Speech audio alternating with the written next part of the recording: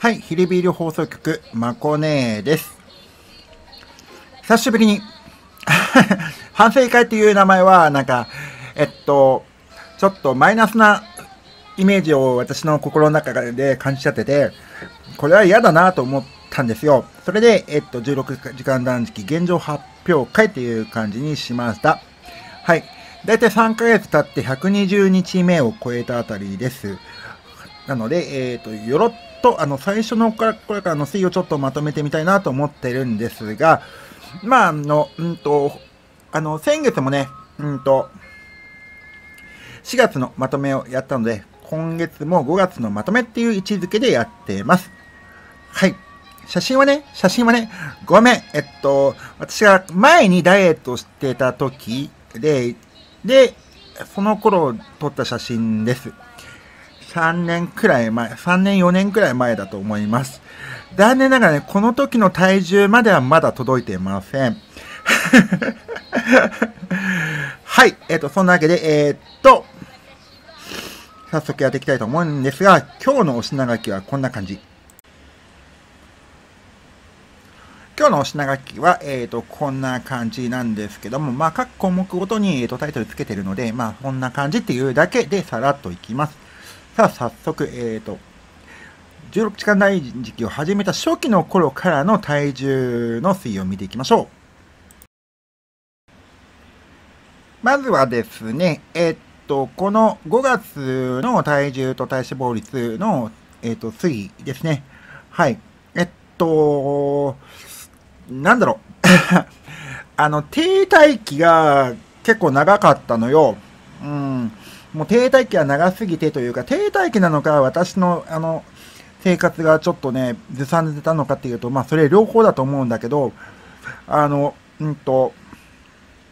まあ、102キロ前後をずっとあの、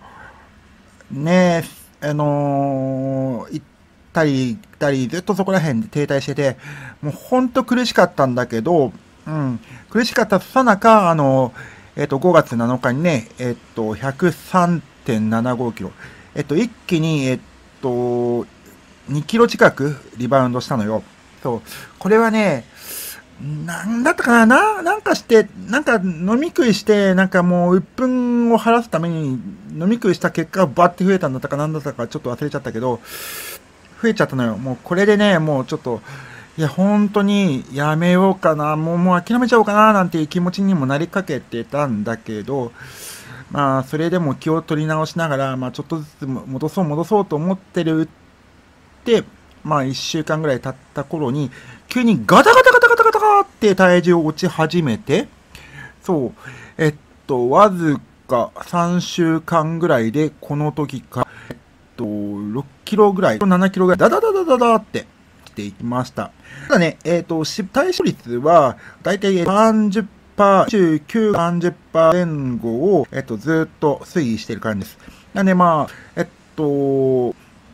だからまあ脂肪量がっていうと、まあ、そんなに変わっちゃいないんだろうとは思ってたんですが、えっと、次の資料で、あの、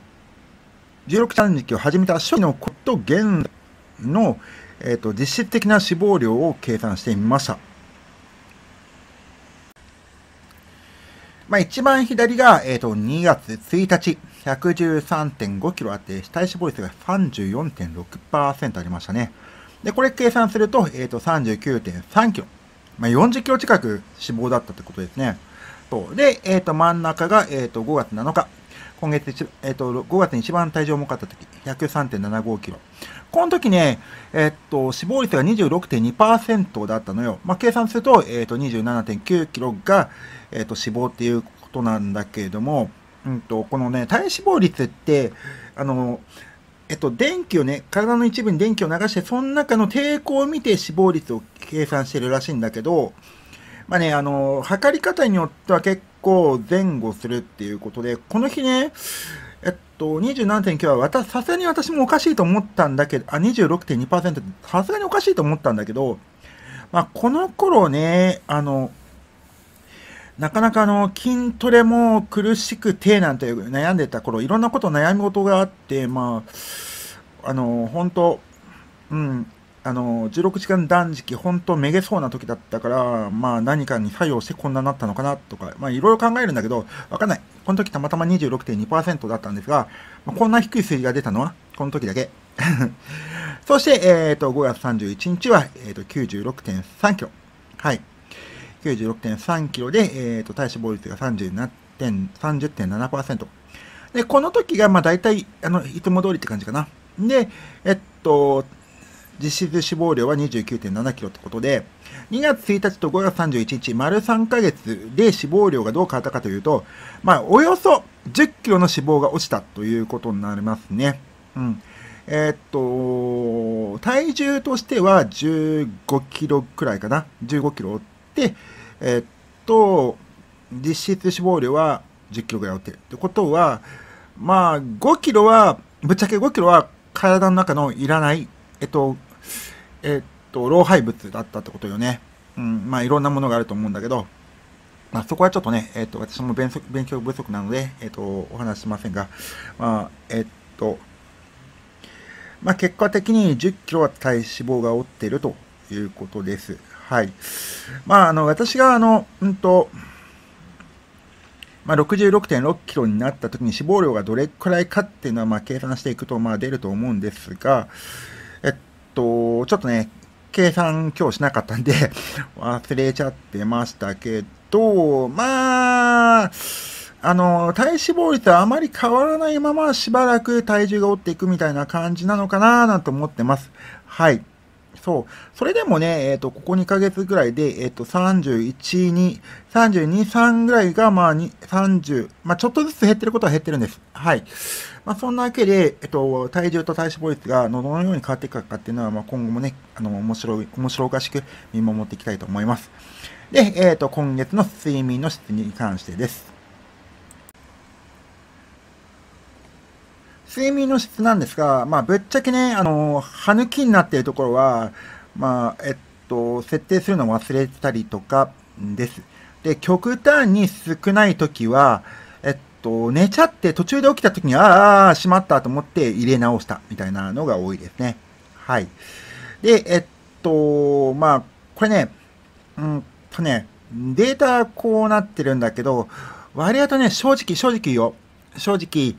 あの、布団に入ってから、あの、まあ、15時に布団に入ってから、なんか、寝れなくてなんてのが多くてでですね、うん。この、えっと、100近く、70%近くは高いのは、まあ、ちょっとあの、うんと、耳元でスマホを見てたから、うん、音を流し、結構音を流しながらスマホ見てたから、ちょっと、なんか、いびきかなんかと勘違いした。いやー、ちょっとわかんないな。まあでもデータはこんな感じで出てます。はい。で、睡眠、まあ、快眠度はまあともかく、確かね、よく寝れてる。か前よりは良くなってますよね。前よりはずっと良くなってるんだけど、まあその分直接ちょっとね、乱れてますね。うん。というのは、あの、12時間仕事がないときは、まあ、あの、えっと、あの、止めてからまた寝てしまうなんてことも結構あります。はい。なので、えっと、実質時間もうちょっと長いかもしれない。うん。そこら辺の測り方とか、えー、っと、設定の仕方は、あの、今後の課題、ちょっと正しいデータが取れるようになったらいいなと思っています。はい。で、次はですね、じゃあ、どうして急に手が取ったかっていうと、まあ、あのね、低待機をあの脱出するために取ったあの作戦をご紹介しましょう。まあね、私の一番の問題というと、なんたってコンビニが近い。で、小銭を持ってるとすぐコンビニに行っちゃうんだ。そう、私は基本的にね、えっと、現金持ってないです。まあ、カードか、あの、えっと、電子マネーかっていう感じですね。なんですけども、まあ、えっと、デビットカードなので、まあ、うんと、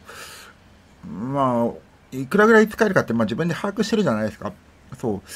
となると、まあ、えっと、今月あといくらぐらい入ってるから大丈夫だろうみたいな感じで、まあ、コンビニ簡単に行っちゃったりとか、まあ、帰りに、えっと、スーパーによって、いらないもの買っちゃったりとか、まあ、買って帰ってくると、あの私ね、作っといて翌日食べるとか、明日残しといて、えっと、明日食べるとか、そういうのがね、できないのよ。今のところ。そう、まだできないの。そう。あればあれだけ食べちゃうっていう方だから、まあ、買ってきちゃうと結局食べちゃうのね。うん。まあ、それはそれで大問題だと思い、あの、私が取った作品、作戦は、えっと、家賃を残して、最低限度のお金を残して、もう使っちゃう そう、もう強制的に使っちゃう。だからまあ、あの、うんと、乾物とか、えっと、取っとけるような、取っとけるような食材を主に仕入れて、えっと、あとは、うんと、まあ、映画館にも行かなかったし、そう、えっと、まあ、ランニングコスト的なものを支払った残りのお金で、えっと、まあ、必要な機材とか今後必要なろなるだろうというものを買ったりし、まあ、可能な限り手元に、もう、あの、5月に入った段階で、うんと、すっからか、空っぽにする状態に作りました。まあ、結局もうお金がなくて食べれませんっていう、あるものしか食べれませんという状況を作った結果、まあ、あの、食べる量も、食べる時間も割合とコントロールできて、まあ、徐々に体重を折ってきたのかなっていうのが、まあ、正直なところです。はい。なんで、えっと、超効果的禁断のお財布断金法っていうふうに書いたんですけど、そう、まあ、断金法っていう言い方がどうかと思うけど、まあ、そんな感じだったんですよね。そう。まあ、その結果、まあ、あの、えっと、いつもね、お世話になってる杉本さんっていうお姉さんから、えっと、野菜をたくさんもらったりとかして、まあ、それでね、食べつなげるところもいっぱいあったし、えっと、まあ、乾物ももちろんね、考えながら買ってた乾物なので、まあ、それらで、えっと、食いつなぐこともできてたんですけど、まあ、食べるもの自体はね、えっと、食べるものがなくて、お金がなくて、食べるものがなくて、お腹ペコペコなんてことはなく、まあ、それなりにしっかり食べてたんです。食べる量は、あの、落とすことができたんですけどね。そう。でも、最も効果的だったのは、あの、自然豊かな無料農園の存在。はい。この写真は、まあ、無料、無料、無料農園なんですけど、まあ、遠くに畑は見えるでしょ？別に、あの、夜な夜な畑に行って泥棒してるわけじゃありません。私の無農農園、無農、無料、無料農園は手前の、そう、土手の草たちです。はい。この中には、あの、えっ、ー、とね、えっ、ー、と、低高スポクセソウだったかな？とか、えっ、と、まあ、低高スポクセソウは、まあ、俗に言う、あの、ここら辺、新潟県長岡市では、えっと、豚草って言われてるんですけども、なんで豚草ってわかんないんですが、外来種、もともと外来種みたいに、まあ、あの、めっちゃ、あ、あの、日本語ではちっちゃいですけど、あの、もう、こっちだから、あの、どれもそうだよ。えっと、えー、魚なんです、えっと、と、かな、うん、と、せいまさ、ハマったと、健康効果が、あの、本当に、あのー、たくさんあって、薬草としても十分、あの、効果があるって言われてるものなんですけども、まあ、なんせね、あの、精鋭高、まあ、豚草はね、まあ、ここら辺畑の人は本当もう迷惑があってて、もう豚草、豚草なんか食べるのみたいな感じでびっくりされちゃったりとか、えっと、土手でね、豚草を積んでると、え、何積んでるんですか？って声かけられて、え、これです？って言ったら、えー、え、それどれ何にするんですか？って言ったら、食べるんです。天ぷらとかおひたしとか言うと、えーとか言って、その後ね、うんと、一言も喋らないまま、もう、こいつおかしいと思って、あの、去っていく人なんかもいました。ひどいよね。まあ、それでね、えっと、私はね、うんと、特に、えっと、どちらも天ぷらが大好きで、うん。で、天ぷらにして食べるんですが、まあ、天ぷらはカロリーが高いけどっていうところがあるんですが、あのね、私分かった。あの、えっと、今使ってるのは大豆、サラダオイルじゃなくて、大豆の、えー、大豆から取ってる、えっと、油を使ってるんですけども、うん。あのーある程度ね、油を取らないと、えっと、うんちが出ない。そう。うん。野菜も、もちろんね、このね、あの、豚草たちいっぱい食べたのもあるんだけど、えっと、豚草や、だけでは、豚草とか、まあ、繊維質のものだけではやっぱり出なくて、うん、あの、えっと、ある程度、あの、脂質を、あの、まあ、油をね、取らないと、うんちが出ないってことが最近分かってきた。で、うんちを、あの、うんと、質がね、ある程度取れてると、うんちがね、スルスルスルっと出ていく。うん、これは大発見。なので、えっと、最近は、まあ、あの、うんと、天ぷらは天ぷらで、えっと、結構豚草の天ぷら食べてます。はい。うん。そう。まあ、さほど気にしなくなった。まあ、もちろんね、16時間断食の食べていい時間に食べてるんですけど、まあ、ぶっちゃけ、あの、うんと、まあ、前はね、えー、っと、天ぷらうどんにしたりとか、天ぷらそばにして、えっと、お蕎麦と天ぷらとか、天ぷらと、えっと、いつも食べてる野菜スープみたいな感じで食べたんだけど、最近はね、もうあの、えっと、天ぷらともう一つ何か作るのめんどくさくて、もう天ぷらだけお腹のいっぱいなるまで食べて、もう、もうあとはいいや、みたいな、そんな感じの時もよくあります。はい。で、まあ、その、聖高なんとかどうな、この層っていうのはどういうものかっていうのをちょっとね、えっと、動画に撮ってるのがあるので、ちょっと動画を、えっと、貼り付けたいと思います。はい、まこねです。この草知ってます？そう、聖高ヒポクセソウかな。まあ、俗に言う豚草って言われてるんだけど、まあ、秋になると、えっ、ー、と、黄色い花を咲かして、まあまあ、雑草中の雑草ですよね。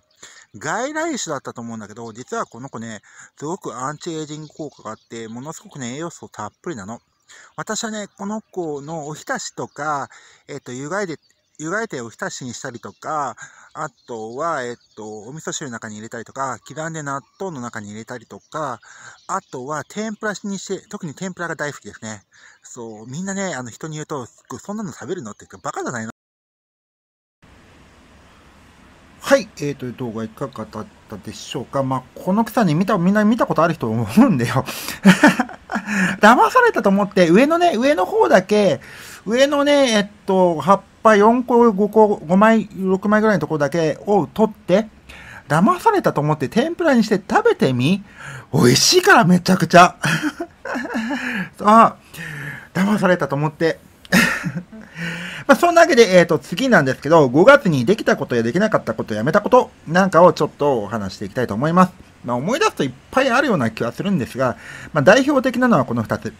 筋トレと、えっ、ー、と、サブチャンネルを閉鎖というか、どちらも休止しました。やめたとは言い切れない。休止してます。はい。その代わり、えっ、ー、と、今ね、出勤時に見てください。あの、うんと、この黒いのを着てます。直帰をね。えっと、ベスト。これ何かというと、えっ、ー、と、ウエイト、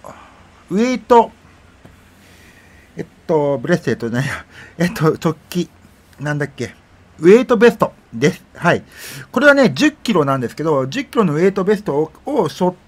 えっ、と、出勤してます。行き帰りね。うん、歩いて。歩いて片道40分。そう。えっ、ー、と、それなんですけど、まあね、筋トレをあの、週何回かでもするっていうのは私にとってはね、ちょっと今はあの、心のハードルが高すぎるっていうことで、まあちょっと、あの、うんと、それでも、ちょっと体に負荷かける必要があるなと思ってる中で、まあ、以前ね、前のダイエットをした時にも使ってたんだけど、私はね、これ着て雪山中走り回ってたからな。そう。なので、えっと、ちょっと引っ張り出して、今、えっ、と、出勤時に来てます。はい。で、まあ、家の、帰ってきてからもね、家の中で、私はあの、パソコンの前は立ち仕事なので、まあ、パソコンしてる時とかは、まあ、着てたりするんですが、まあ、暑くなってきてね、まあ、これ結構暑いからね、そう、まあ、暑くて脱いだりもしますね。脱いでいったりも最近します。はい。で、えっと、もう一つのサブチャンネルっていうか、どっちがね、メインかわかんないんだけど、えっと、登録者数はね、このサブチャンネルの方が圧倒的に多いんだけど、えっと、トルコ大地震のあのトルコの地震が2月にあった時その後トルコの方に向けて、えっと、応援メッセージを発信し続けてきたものを、えっと、その後、えっと、各言語にわたってショートムービーで、えっと、防災に関する情報を発信したの毎日ただねこれがすっごい時間的にもねの精神的にも労力が労力がものすごいかかって辛くなってきちゃったからもうねえっと、ストップしました。はい。そう。もう、うんと、もう、楽しいと思えないのはやっぱ続かない。どんなにいいことだと思っても。うん。まあ、それでストップしちゃったんです。まあ、大体こんなもんかな。あとね、えっと、えっとね、えっと、酵素ジュース。発酵酵素ジュースを買おう作ろうと思って、えっと、なんだっけ、ジューサー、ジューサーっていうのかな。あの、キーンって回って、回ってさ、ほら、野菜とか、あの、ジュースにするやつ。あれを、えっと、そんなに大きくないやつ、あの、500cc ぐらいのやつを買ったんだけど、まあの、まだ一回も使ってない。そう。そんなものかな。うん。はい。そう。できたこと。今日、えっ、と、トイレと、えっ、と、水回りの掃除をしました。あと、できてないことあった。自転車を、ちょっと自転車調子悪いから直そうと思って自転車を直す工具も買ったんだけど、買っただけで、えっと、まだ何もしてない。あれね。まあ、そんな感じです。はい。じゃあ次はですね、えー、っと、1週間、2週間ぐらい前に、えっ、と、5月の20日だったかな、ね、に、えっ、と、5月の新月があったんですけども、その時に新月のお願いをすっごく時間かけて、えっと、ポッドキャストで、M キャストの方でお話したんですが、えっと、その内容ね、えっと、文章っていうか、まあ、えっと、聞いてた方はまあ大体わかると思うんですけども、えっと、改めて文章に起こしてみたっていう、見ました。はい。前々からに文章に起こすって言ってて、あの文章に起こしてなかったね。そう、まあ、ついでにね、1ヶ月分まとめてみたいな感じですね。はい。それをちょっとおさらいしていきたいと思います。ただね、新月のお願いの書き方って、えっと、まあ、スタンダードのもあるし、あの、いろんなやり方があるんだけど、私はね、えー、っと、こういう感じでやってます。そう。本当はももっとより具体的なものがいいと思うんだよ。そう、潜在意識を動かすために。ただ、私が昔から思ってたものとか、えっと、うん、まあ、か、あの、10個ね、パッと思いつかなかったのよ。だからまあ思いつきやすいようにこういうスタイルにしてるっていう感じです。さあ、ちょっとね、行きましょうか。はい、超長期的なお願い。そう。そもそもあの、達成するかしないかというよりも、私の、ここ、私の中の、えっと、ずっと思ってる、えっと、勝手な使命感だと思っていることを、えっと、お願いとして書きました。はい。えっと、読んでいきます。ちょっと恥ずかしいけどね。はい。私は100年後の未来に悲しみの涙を流すことのない世界にすることができました。ありがとうございます。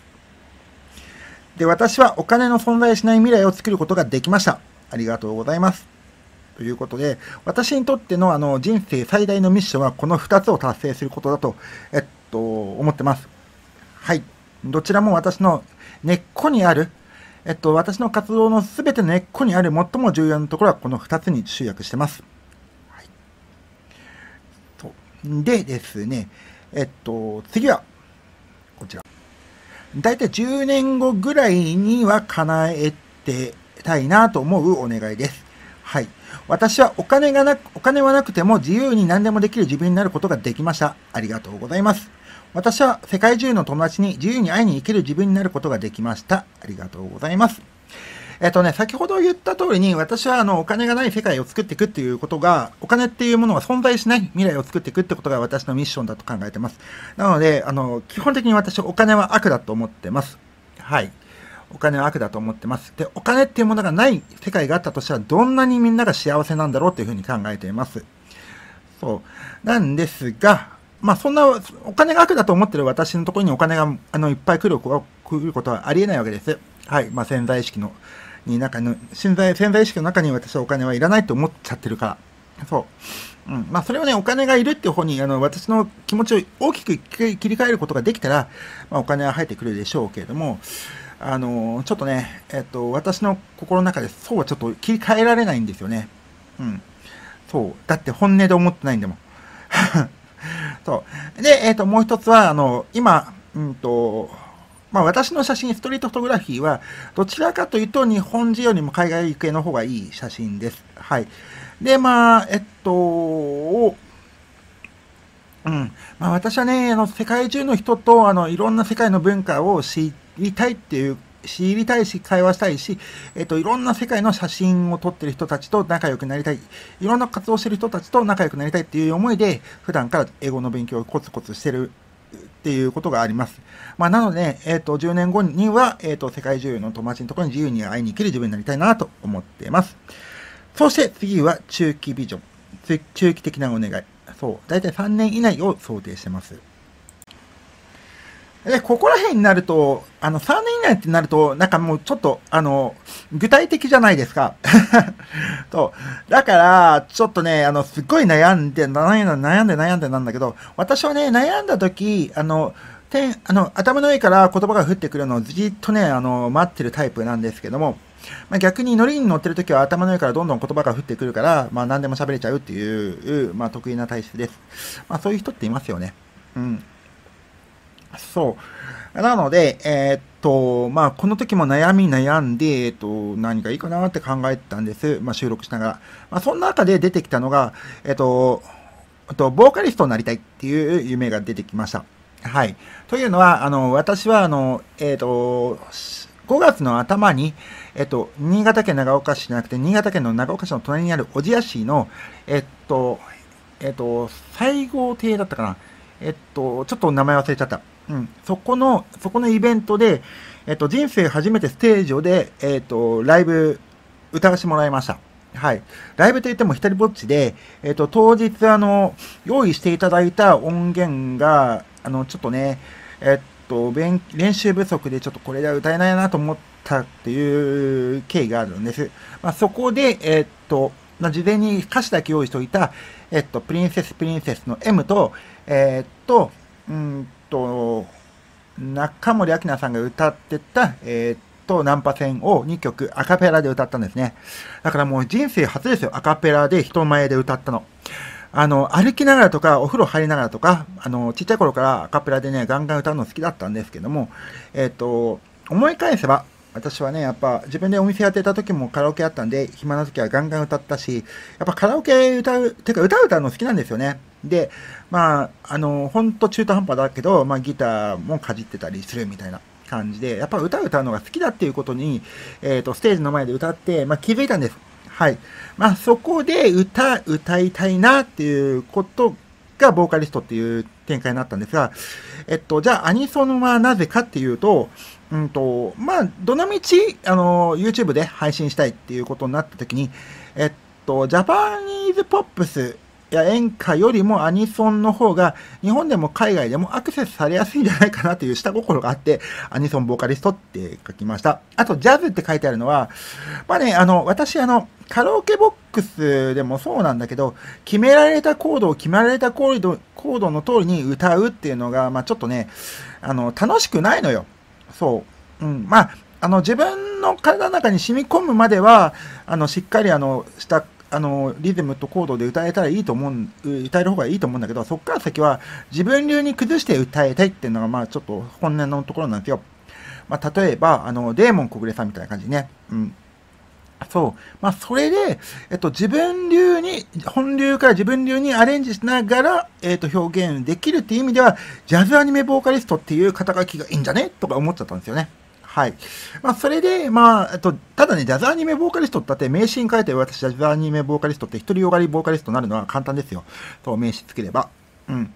で、えっと、まあ、新潟県もあちこちで、長岡特にあちこちでイベントあるので、えっと、主催者の人にね、交渉すれば、まあ、ステージに立つことはできるでしょう。そう。あの、大した、あの、労力をかけるな、かけなくても。そう。ただね、ただね、それでは、それではそんなんだったら、あの、1ヶ月で十分なので、それはダメだってことで、えっと、知名度がある程度あり、えっと、どなたか、誰かからね、えっと、ぜひうちに来て歌ってくれませんかみたいな感じで、えっと、お声掛けをいただけるような、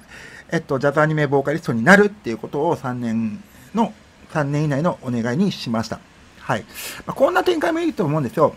例えば、あの、忘年会の中で呼んでいただいて、えっと、まあ、私、あの、うんと、オカマバ仕込みの、えっと、話術で、えっと、その場を盛り上げるのは割合と得意です。はい。まあ、ちょっと特殊な生物ですからね。まあ、あの、うんと、コンパニオン代わりに呼んでいただくなんていうのもいいんじゃないかなと思ってます。はい。あとは、まあ、女子会とか、あの、うんと、結婚式とか、えっ、と、お祝い事、パーティーなんかで、えっ、と、ゲストとして呼んでいただければ、もちろん、あの、えっ、と、それに、そういう、えっ、と、何かを、ボーカリストとしてやりたいなと思っているんですね。はい。まあ、それがまあ一つ目。で、もう一つは、私はトランスジェンダーだけのダンスユニットを引退することができました。そう。トランスジェンダー、私はね、えっ、と、クイアって言い張ってます。というのは、うんと、トランスジェンダーは、まあ、LGBTQ の T なんですけども、えっと、女性に、うん、あの、自分の身体と違う異性になりたい、なるって決めてる上で、えっと、なりたいっていう、も、なる、なりたいもしくはなってる、ん？違うな。自分の生まれた性とは違う性で生きる。そう。それをもう見た目から含めて、えっと、生きるっていう風にしてる人たちを、えっと、トランスジェンダーって言うんですけども、うん。なんで私は自分自身がトランスジェンダーって言い張ってもいいと思っているんです。はい。あの、えっと、そう、お髭を脱毛すれば私は可愛いと思ってる。そう。うん。なんですが、あの、そのトランスジェンダーの人だけのダンスユニットを作って、まあ、それで活動したいなと思ってるところがあって、うん。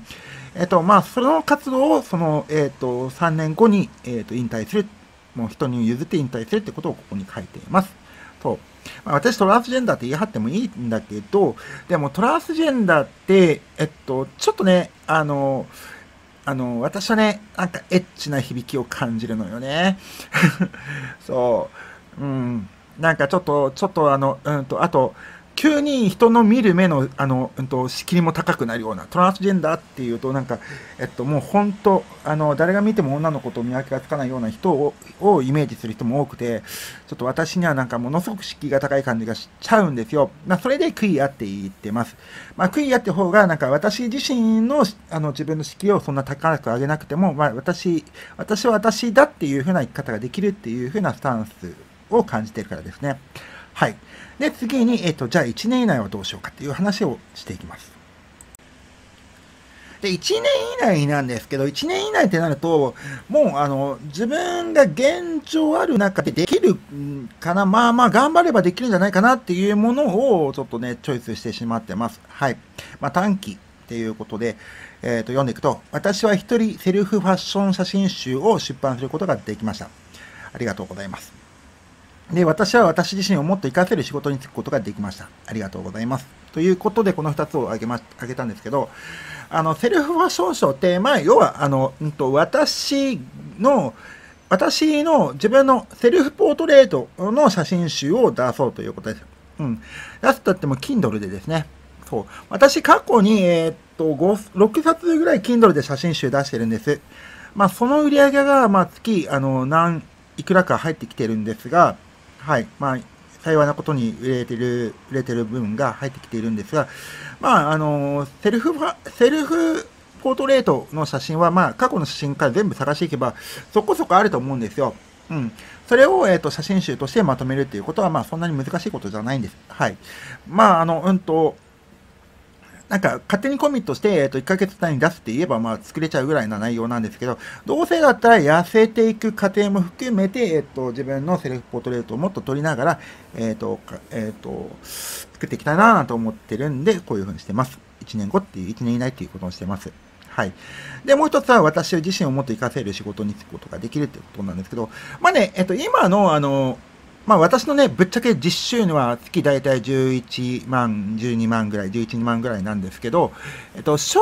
直なところね、正直なところね、えっと、うん、まあ、もう5万ぐらいあったらいいなとは思ってます。とはいえ、えっと、私は、あの、えっと、お金とか仕事に対する心のブロックがすっごくはっきりしてるので、えっと、無理して仕事はしたくないんですね。そう。で、えっと、なんだろう。まあ、いろんな副業あります。はい。いろんな副業あるし、私のところにも副業しませんか？こういうのありますよ、みたいな情報いっぱい来るんですけど、私はね、なんかそれは、なんか、うんと、楽しそうに見えない。そう、お金を稼ぐための、えっと、遊びみたいな感じなのは、ちょっとね、私は、あの、好きじゃないの好きじゃなくて、あの、あと興味が湧かないとか、あの、えっと、ワクワクしない。ワクワクしないものは、ちょっとね、えっと、うん、って思っちゃうんです。というのは、あの、私は、あの、うんと、お金に対、お金は本当悪だと思ってるから、お金が増えていくっていうことに対するなんか罪悪感がちょっとあるんですよね。そう。まあ、それだけに、えっと、まあ、お金は手元には残らないっていうか、なくてもいいっていうふうに思ってます。なまあ、でもまあ、もう5万ぐらいあったらないいなと思ってて、まあ、今よりも、まあ、今の仕事をしながら、えっと、もっと私を自身を活かせる仕事があるならしたいなと思っています。はい。そう。まあ、これが2つ目。で、最後が、えっ、ー、と、超短期3ヶ月以内のお願いということで、これはね、これまでの話をまあまとめてって感じなんですけど、まあ、正直ね、一番悩んだんですよ、ここが。そう。えっと、まあ、先ほどね、えっと、トランスジェンダーだけのダンスユニットを結成するって、えっと、引退するって言った手前、じゃあ、トランスジェンダーだけのダンスユニットを結成しなきゃいけないってことで3月、3ヶ月以内にトランスジェンダーだけのダンスユニットを結成するっていうことを目標に、えっ、ー、と、しました。といっても、いざとなれば、一人ぼっちでもいいと思ってます。一人ぼっちでも。うん、一人ぼっちでも、えっ、ー、と、ダンスユニットを結成して、まあ、いろんなイベントでダンスを踊らせてもらうっていうことをちょっとやっていきたいな、なんて思っています。はい。でですね、そして、えっ、ー、と、もう一つは、えっと、私はダイエットの、ダイエットのプロフェッショナルアドバイザーになることができました。まあ、これはね、資格試験を今勉強してるっていう、それな、それなんですね。まあ、ちょっとだね、もう本当、本当今、なんとかしなきゃっていうふうに、お尻に火がつきまくってますけど、まあ、それが書いています。まあ、そんなわけで、えっ、と、3月のお願いはこんな感じなんですが、そう、まあ、ここからね、えっと、果たして、あの、じゃあ、じゃあ私はじゃあ今後何をしていきたいのか、まあ、この何をしていきたいのかっていうのをちょっとまとめたので、最後にそこをお話してやめたいと思います。はい、3年、3年後の3年後のための3ヶ月ステップということで、まあ、これから3ヶ月間でこんなことを、えっ、ー、と、開始していきたいなと思ってるのを3つ挙げました。はい。まあ、実はこれ収録してる、えっ、ー、と、6月2日がこのもっきり定期開催初日なんですけどもも、っきりって何かっていうと、竜もっきりっていう言葉から来てます。はい。まあ、長岡ではもう絶滅したんですけど、もしかしたら、あの、どこかではあるかもしれませんね。もともと、あの、竜もっきりっていうのは、えっと、聞いた、調べた話だと、えっと、酒屋さん、酒蔵がね、酒蔵、酒蔵はまあ昔からあの酒の仕込みが終わると、えっと、次の大きいボールを作ると。で、次の大きいボールが、あと、お店先にあって、それが、えっと、茶色くなると酒ができるって、できた証拠だっていうふうに言われてるんですが、うんと、まあ、酒ができると、そこに、酒蔵に、えっと、行って、そこで酒を飲んでるっていうのが徐々に、えっと、居酒屋、お酒を出すお店が、になっていたっていうふうに、えっと、聞いてます。まあ、調べた範囲だとね。ちょっと間違ってるかもしれないけど。で、えっと、現在は酒屋さんうん、あの、えっと、近年というか、まあ、昭和の、その、えっと、高度成長期ぐらいになると、えっと、酒屋さん、普通のね、町の酒屋さんで、えっと、そこでお酒買って、えっと、そこで一杯飲むっていうのが、まあ、もっきり、たつもっきりって言われてたらしく、まあ、その、えっと、酒屋さんであるおつまみを買い、えっと、そこで、まあ、ちょっと、ちょっとしたテーブルでお酒を飲んで、えっと、まあ、一杯引っ掛けて帰るっていうのが、まあ、たつもっきりっていう、あの、うんと、ものだったんですが、私はね、それを岩手県の宮古市で自分のお店やってた時に、まあ、本当ね、あの、竜巻のお客さんにはね、表屋さんというお店なんですけど、表屋さんのね、うんと、お客さんたちには本当お世話になったんです。うん。まあ、それが忘れられなくて、長岡に帰ってきた時に、えっ、ー、と、もっきり、竜もっきりをしたかったんですけども、うんと、まあね、私はね、あの、実はすごい人見知りで、まあ、知らない居酒屋で、あの、居酒屋は一人も入れないし、知らないお店も一人では入れないんだけど、まあ、あの、酒屋さんもそうで、酒屋さんで、えっ、ー、と、お酒買って、えっ、ー、と、そこで、あの、飲むなんてちょっとね、えっ、ー、と、それを、あの、うんと、今から作ろうなんてちょっと敷居が高かったんですよ。まあ、そんな時に、え青俺長岡っていうのが、まあ、あの、えっ、と、市役所と、えっ、と、体育館とか、また多目的ホールがみんなくっついてるようなところで、あの、有名な方が作った、あの、施設なんですけど、そこのね、中泊って言って、大きい、あの、えっと、外の、あの、屋根がある外のね、大きい、あの、フロアがあるんですけど、その中泊でのとところに、あの、セブンイレブンがあるんです。で、まあ、セブンイレブンで、あと、買って、えっと、その中泊でお酒を飲むっていうのを始めたんですよね。まあ、次第に人が集まっていって、えっと、もっきりっていう形で、えっと、定着していったんですけども、まあ、あの、寒くなると、まあ、中断し、まあ、翌年っていう感じでやってたんですが、まあね、私が長岡いなくなったりとか、えっ、ー、と、収入が今よりもずっと少なくて不安定だったりして、えっと、まあね、えっと、まあ、行ったり行かなかったりしてるうちに、どんどんどんどん縮小していったという感じなんです。まあ、それをもう一回復活させないなと思って、えっと、今日から再開しようと思ってます。まあ、今日は雨降りでね、寒いと思うんですけど、誰も来ないかもしれませんけどね。でももう誰も来ないときは、えっ、と、何をしようかみたいなのもちょっと準備してやっていきたいと思うんですが、まあ、えっ、と、今年は6月からなんですけど、まあ、えっ、と、えっ、と、桜見の時期ぐらいから、えっ、と、9月の、えっ、と、月見のくらいまで毎年、えっ、と、毎週やれたらいいなぁなんて思ってるんですけど、何かというと、これね、えっ、と、ただの飲み会じゃなくて、えっと、超ゆるい異業種交流会になってたんです。で、この竜もっきりから始まったいろんな、えっと、ことが、まあ、長岡、今定着してるものがあって、えっと、もしかしたらすごく重要な取り組みだったのかもしれないなって今思っています。まあ、そんなわけで6月に、えっと、建物、まあ、今日6月2日から建物期毎週金曜日やってきたと思ってます。はい。次は、えっと、7月に、えっと、野外カラオケライブの定期開催をしていきたいと思ってます。というか、まあ、7月からということで。できればね、週1回ぐらい駅前の噴水のところで、えっ、と、1時間ぐらいカラオケライブをしたいと思うんですが、まあね、あの、うんと、持って動ける程度のちっちゃい、あの、えっ、と、ちっちゃいというか、まあ、そこそこ、あの、えっ、と、スピーカーとマイクセットを買って、えっ、と、カラオケ音源、カラオケ音源というか、まあ、ぶっちゃけね、うんと、自分で作ったカラオ音源を、音源で、えっ、と、歌うというものなんですが、今のところアニソンだけでいこうと思ってます。はい。うん。まあ、それを4月からやりたいと思います。そう。で、8月からは慰問活動の再開。まあ、昔に私がダンスチームやってた時は、あの、何箇所か、えっ、ー、と、お祭りに誘っていただいたりとか、えっ、ー、と、町内のお祭りに呼んでいただいたりとか、えっ、ー、と、老人ホームの慰問とかさせてもらったんですけど、8月からは、えっ、と、まあ、月何回か、えっと、長岡中の老人ホームを回って、えっと、おじいちゃんおばあちゃんたちに向けて、えっと、歌を歌い、ダンスを披露するっていうのをしたいと思ってます。はい。まあ、どれもね、どれもあの、うんと、まあ、カラオケの機材一つあれば、えっと、まあ、そんなにあの、経費が変わるもんじゃないので、まあ、実現できると思うんで、思うんですけども、そう、なんでこれをするかっていうと、まあ、けあの、3年後の3年後に私がどうありたいかっていうことが重要です。まあ、この話をちょっと最後にしたいと思います。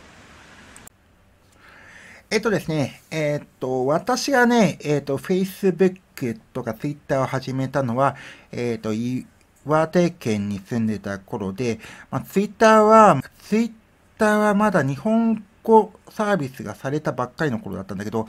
Twitter のどこが面白いかが正直よくわかんなかった、最初はね。で、Facebook はまだね、日本語にもなってなかった。まあ、そんな頃に Facebook と Twitter を始めてたんですが、もう結構経ちますね。うん。で、まあ、えっと、岩手から帰ってき、えっと、ネパールで NGO の仕事をし、えっと、帰ってきて、えっと、日本の NPO で働きながら、えっと、情報発信の仕事をしてるっていう中から、えっと、次第に、えっと、長岡市私の住んでる長岡市の中では、あの、えっと、強烈な、強力な発信力を持つ、えっと、私自身のブランドを持っていってたんです。はい。まあ、それがね、えっと、ピークがだいたい、えっと、10年くらい前でしょうかね。うん。10年、10年、10年ぐらい前かな。そう、10年、10、うん、10年まだ経たないな。えっと、まあでも、えっと、10、うん？うんと、7、8年ぐらい前だと思います。そう。まあその頃はまだインフルエンサーっていう言葉も一般的じゃなくて、インフルエンサーっていうものがどういうものかっていうのも私自身もよくわからなかった。でも、私はね、もともとインターネットを触り始めた頃には情報発信っていうものにものすごく興味があったんですね。そう。まあなので、えっと、まあ本当楽しくて仕方なかったんです。そう。いろんな人からいろんな情報を聞いて、まあそれをあと流すっていうのが楽しくて仕方なくて、ただね、その時は、あの、何をどう、えー、っと、収益化したらいいかと、っていうのは全然わかんなくて、結局、なんかあの、うんと、SNS の中で、うんと、自分自身が迷子になっちゃって、えっ、ー、と、最終的に SNS 立ちをするっていう感じになったんですが、まあね、うんと、あれから随分経ってようやく、あの、なんか無視する力、えっ、と、無視する力全部受け入れないで、全、あの、場合によっては、あの、完全拒絶するような力もつくようにあの、持つようになってきて、今だったら、また違うやり方があるんじゃないかなと思って、うんと、3年後の3年後に目指し、3年後の3年後のために、えっと、元祖長岡ご当地インフルエンサーに帰り咲きたいと思っています。はい。まあ、そのためには、まずね、あの、うんと、えっと、ご当地っていうことでは目立つことがまあ最優先なわけですよ。そう。そう。まあ、目立つための活動っていくつかあると思うんですが、まあ、活動の仕方はあると思うんですけれども、えっと、まずは、えっと、この3つからやっていきたいなと思いながら、3つをやりながら、えっと、徐々に発信力を、えっと、高めていきたいなと思っています。そう。そんなわけで、えっと、3年後の3年後には、えっと、元祖、えっと、元祖じゃなくて、えっと、ご当地インフルエンサーです。で、えっと、自信を持って言える自分になるために、えっと、この3ヶ月を過ごしていきたいと思っています。で、この3ヶ月は、まあ、その3年後までずっと続けていくと。まあ、16時間断食とセットって感じでやってきたらいいなと思ってます。そんなわけで、えっ、ー、と、今日も、そんなわけで、えっ、と、120日、16時間断食120日目の、えっ、と、こんな推移だったよっていうような感じでお話ししてきましたが、まあ、前半はそんな感じ。後半はもうこの1ヶ月